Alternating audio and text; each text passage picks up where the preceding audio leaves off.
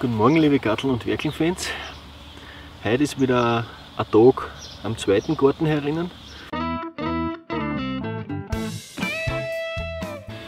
Ich habe einige Fahne mitgebracht, die werden wir ins Unterholz einbauen.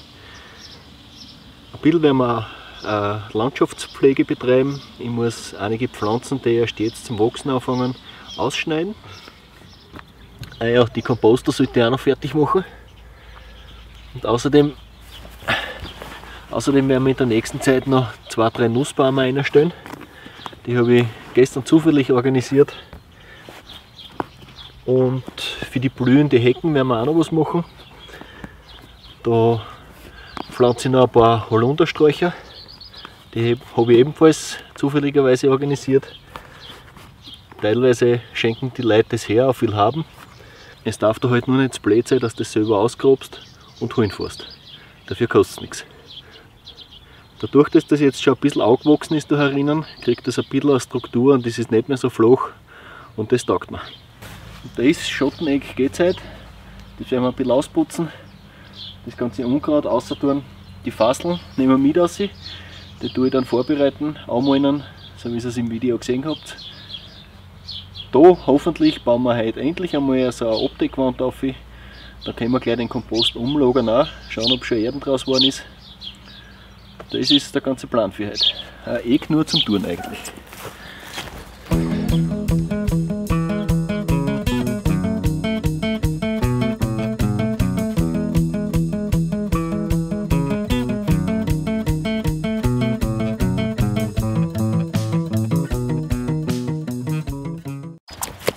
Bei der Gelegenheit können wir gleich die abgestorbenen Äste, die den Winter nicht überlebt haben, abschneiden. Die werden wir einfach da gleich kappen mit der Säge. Da ist auch noch einer. Beim Holunder gibt es auch Äste, die entweder abgebrochen sind oder welk sind. Die schneide ich einfach an, so dass das Ganze wieder ein bisschen mehr Luft hat. Es kommt wieder mehr Licht rein und die Pflanzen kann besser wachsen.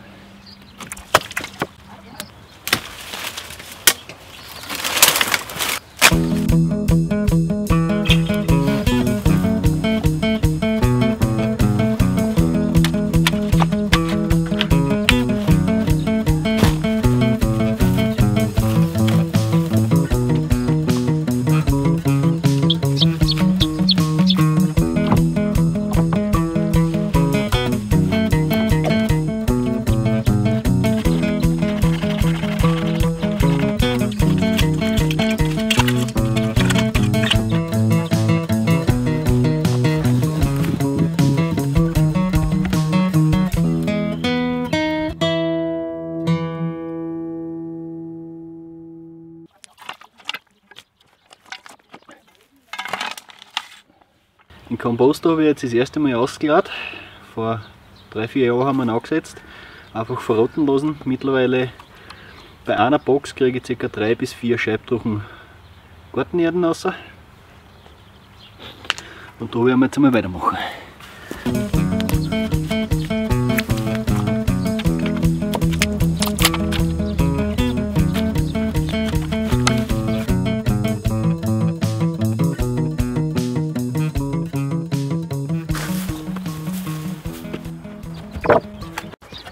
Jetzt ist es soweit, jetzt kommt die Abdeckung drauf für die Komposter. Ja, lang genug habe ich gebraucht. Im Prinzip eine einfache Konstruktion. Das große Kantholz kommt im Prinzip oben auf, das wird da an die Paletten geschraubt. Also da scheiß man nicht, was gut, was machen wir tun.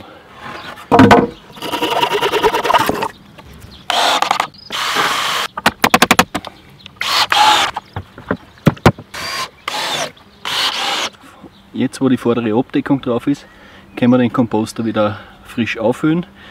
Dann nehmen wir einfach den oberen Inhalt vom zweiten Komposter, dann das eine immer mischen. Grobes mit feinen und braune, braunes Zeug mit grünem Zeug. Das vermischt sich gut, dann ist das ein bisschen luftig und mit der Zeit verrottet das alles. Und die ganzen Geschichten, die wir jetzt ausgesiebt haben, die wieder runtergefallen sind, die noch nicht verrottet sind, kommen da ganz normal auf den Haufen mit auf. Ob sie die zweite Box noch vom Gewitter ausgeht, ist jetzt fraglich. Guten Morgen, heute Tag 2 von der ganzen Kompostergeschichte. Gestern hat mich das Gewitter vertrieben. Das, was ich gestern noch sagen wollte, ist, der Komposter, der in der Sonne steht, ist drei Viertel mit Erde voll. Da war halt immer eine Großschicht um, aber der ist natürlich immer angerenkt worden und so feucht gewesen. Und die zweite Kompostbox, die im Schatten gestanden ist, war nur ein Drittel mit Erde voll. Das heißt, zu viel Schatten ist auch nicht sonderlich gut. Vor allem, der steht direkt unter dem Holunderstrauch, wo wahrscheinlich weniger Regen zubekommt. Ich bin heute ein bisschen früher da. Ich habe schon Landschaftspflege betrieben. Ich habe schon die Kompostbox quasi ausgeschnitten, das ganze Unkraut außer da. In dem hinteren Bereich unter dem Holunderstrauch wäre Fahne einsetzen. Die habe ich mir organisiert quasi. Und da ist es normalerweise schattig, eher feucht und, und kühl, mehr oder weniger. Und da sollten die auch noch für sich gut gedeihen. Das ist ein bisschen so ein Waldrandklima. Und dann können wir schon zu den zu die unfertigen Kompostboxen gehen, die hinten oben im Eck stehen, wo die Sommerflieder gesetzt worden sind. Die wäre ich einfach befüllen mit dem großen Komposthaufen Material, das in der Mitte vom Grund liegt. Das wäre ein bisschen umlagern, dann ist da wieder mehr Platz. Schauen wir mal, wie sich der entwickelt hat. Der steht natürlich mitten in der Sonne, mitten im Wetter. Schauen wir, ob es da schon Erden gibt. Ich weiß noch nicht, ob da nicht gar ein Hornissennest drinnen ist, muss ich noch schauen.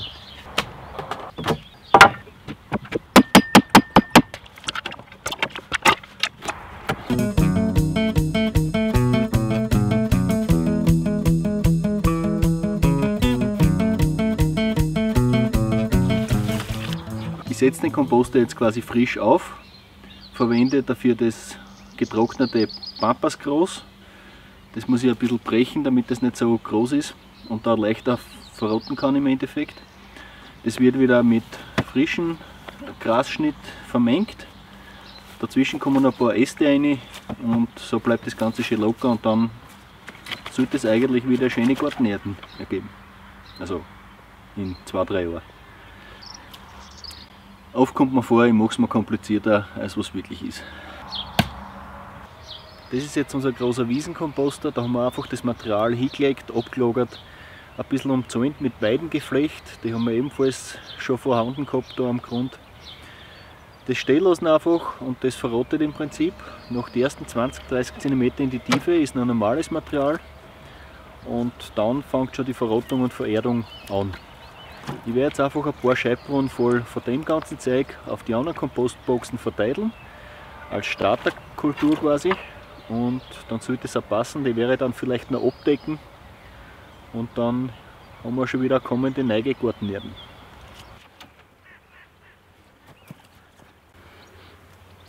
Und so frischer Kompost stinkt auch nicht. Der riecht nach entweder nach Walderde oder nach Erden wenn er so faulig riecht, ist er auf alle Fälle zu feucht. Aber der riecht wie super Gartenerden.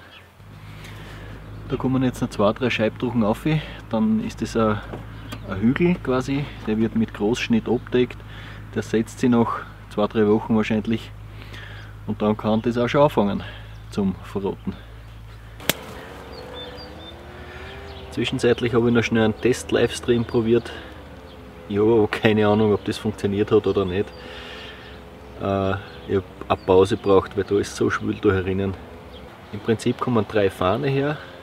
Die habe ich jeweils mit einem größeren Wurzelballen ausgestochen, direkt von der Umgebung. Das dürfte eigentlich ziemlich die gleiche Erden gewesen sein, aus wo er jetzt reinkommt.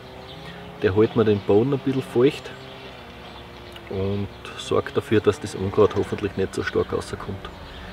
Ob es funktioniert, kann ich jetzt noch nicht sagen. Auf alle Fälle werden wir es probieren. Steine gibt es auf alle Fälle masse da herin.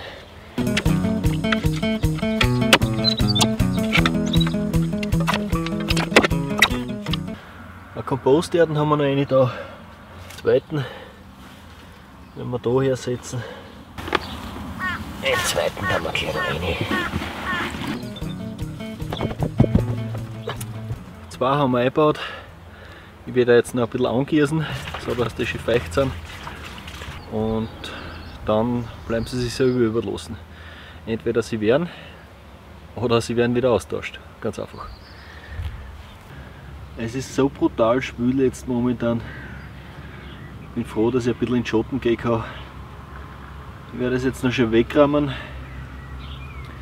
Äh, ich werde es noch schnell wegrammen und dann hoffentlich gehen sie die Boxen aus.